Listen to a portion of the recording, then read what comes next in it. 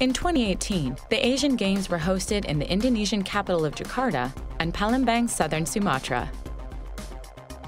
This venture involved the participation of athletes from 45 Asian nations and is second in size only to the Olympics. Security is a topic everybody is always concerned about. Particularly in, in our case, when we involve IT, cybersecurity is always an issue. My mission was to make sure that the infrastructure will support the Asian Games. GBK is one of the oldest stadium arenas.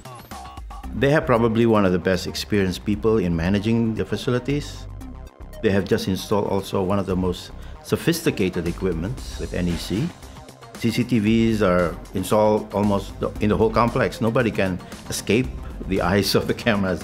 So I was confident in GBK especially.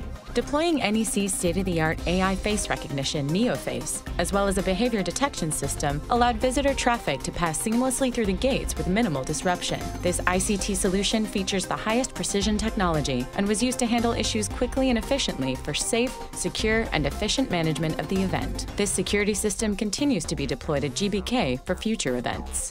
We chose NEC because of experience. NEC has been in Indonesia for many years, in fact, from the fourth Asian Games in 1962. So they have experience in Indonesia. They have experience in deploying technology, uh, experience in installation, and most importantly, is supporting the installation. It's not just the ICT infrastructure, the technology, or anything that is installed. It's more important is the people running it and the people operating it. NEC also provided a network system that was fundamental to managing the event. This system connected a total of 130 locations, including competition and non-competition venues. We're running the Asian Games in many cities, and we want to be able to support the installation and involve local people as well. And NEC, I know they have installed many telecommunication equipment in Indonesia.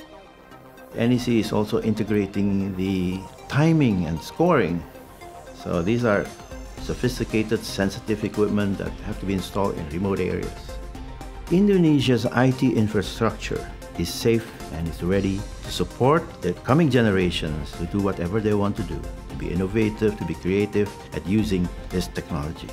Fortunately, working with NEC, we were able to do that.